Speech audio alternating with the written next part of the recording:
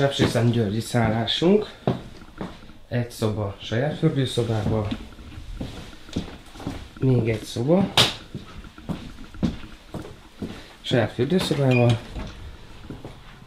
És hidromasszás. Zuhany vagy káddal. Amit este ki is próbáltam.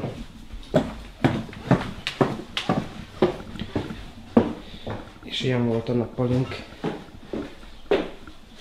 Kandalló, gyönyörű kő, vel díszítve, nagyon király. És fizettünk érte valami 20 ezer forintot egy éjszakára. És ilyen a konyha, meg még ott hátul is van egy WC. Úgyhogy ennyi volt maga a szállásunk. És most irány Brassó.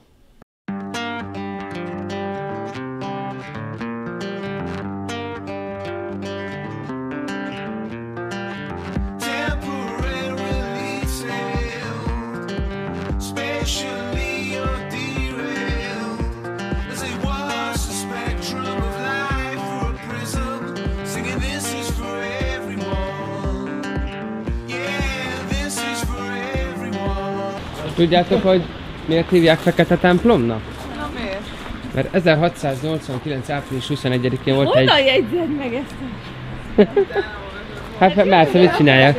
De hogy mert 1689. április 21-én volt egy nagy ö, tűzvész, tehát kb. akkor Brassó leégett, és a templom megmaradt, viszont ugye a, a korom az rárakódott. Tehát teljesen fekete volt az egész templom, amit csak jóval később kapartak le róla. 14.-15. században építették. Tehát ez egy már egy több mint 600 éves templom. 1383-ban kezdték el, és, és 1477-ben fejezték be. Majdnem 100 évig építették. És gótikus templom. Igen. Ja, és ez Románia legnagyobb temploma.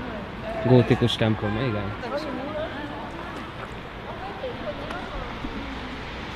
De gótikus templom. Eredeti gótikus. Te vagy a gótikus.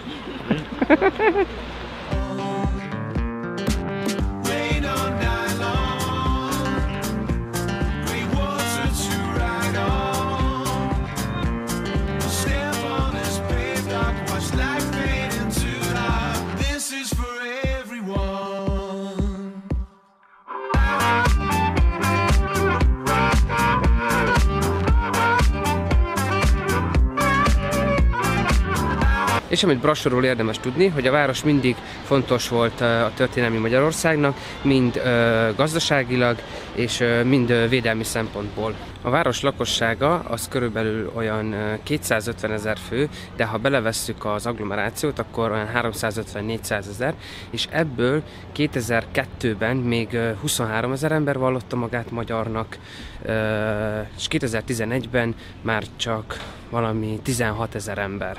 A testvérvárosa egyébként Győr, és 1950 és 60 között ugyanúgy, mint Dunajvárost, ezt is Sztálinvárosnak hívták.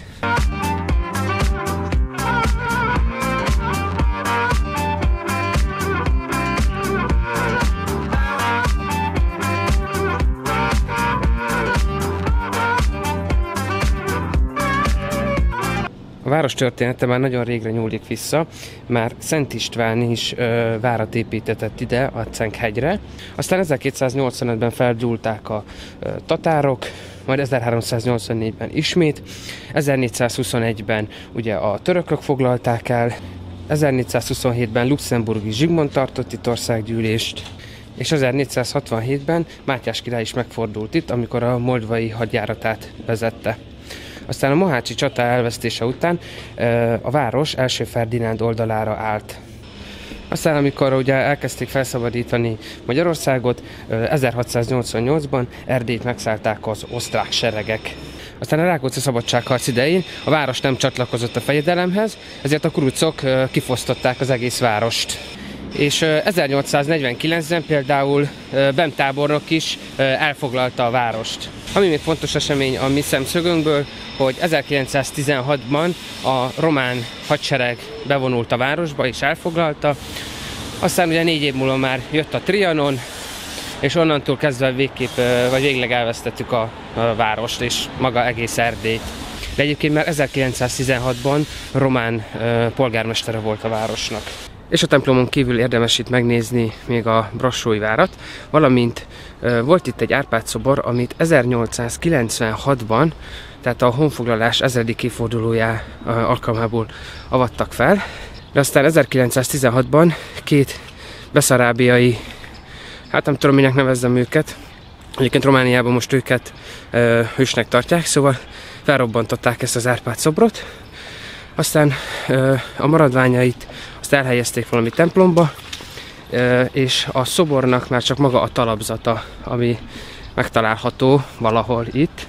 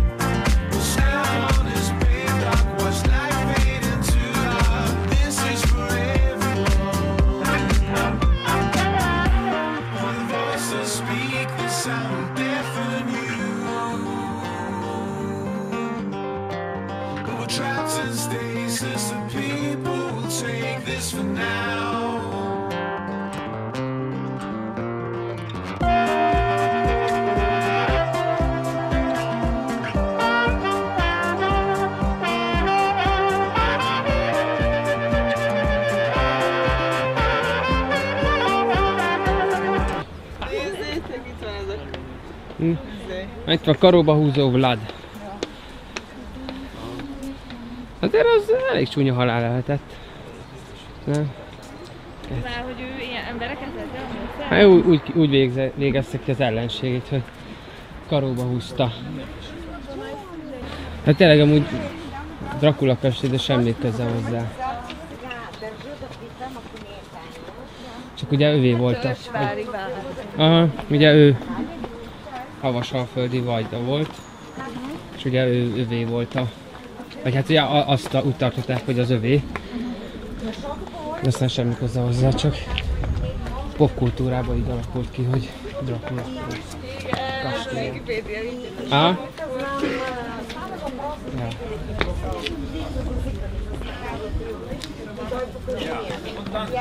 És ami még, ami még olvastam és érdekes, hogy ugye amikor be, hallgass.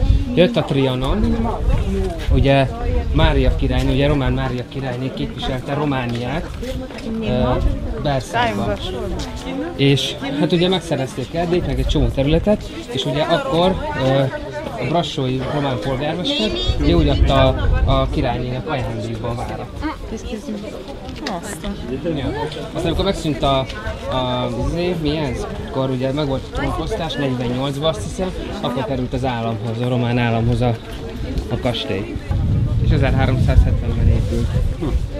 Igen, azt látom, Az 14. század. Mm. És a legjobban megmaradt kővel.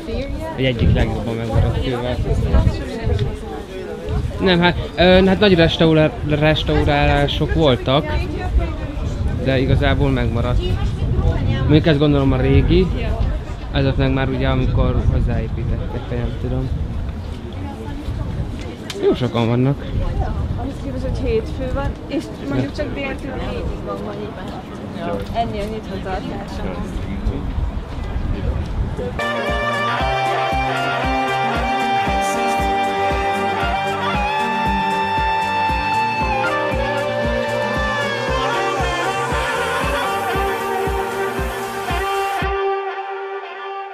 Hát ez a Dracula kastély, ez, ez nem volt annyira nagy szám, 40 lejt fizettünk ki, és az hagyján, hogy látnivaló szerintem alig van, vagy hát legalábbis engem nagyon nem mozgatott meg. Egyedül az kínzókamra érdekelt volna, de oda meg nem tudom, valahogy be se jutottunk.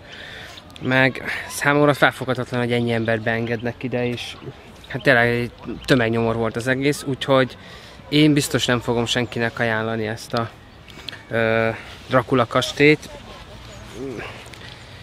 Pont azt beszéltük, hogy többet vártunk tőle, úgyhogy Úgyhogy ez egy csalódás volt. Nem mindegy, hát a túrának a többi része az pedig szerintem jó volt. Úgyhogy szerintem ennyi is lenne ez a videó. A következő videó az már ugye egy hagyományos, szerintem kütyűs lesz. És tudjátok, amíg nem találkoznánk, addig vigyázzatok magatokra. Sziasztok!